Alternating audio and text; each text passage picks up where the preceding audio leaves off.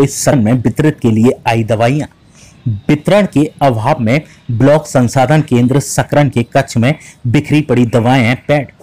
स्वास्थ्य विभाग को लगा चूना एक्सपायरी हुई वितरण की दवाएँ। विकास खंड सकरन क्षेत्र के ब्लॉक संसाधन केंद्र सांडा में शासन के निर्देशों को ताक पर रखकर अपनी मनमानी कार्यशैली के चलते नौनी हालों के भविष्य से खिलवाड़ करने का खेल बदस्तूर जारी है। जहाँ एक और प्रदेश के यशस्वी मुख्यमंत्री स्वास्थ्य और शिक्षा को लेकर बड़े बड़े दावे कर रहे हैं। वहीं दूसरी ओर विकास खंड सकरन में अधिकारियों के मनवाने रवैये के चलते इन दावों की पोल खुल रही है।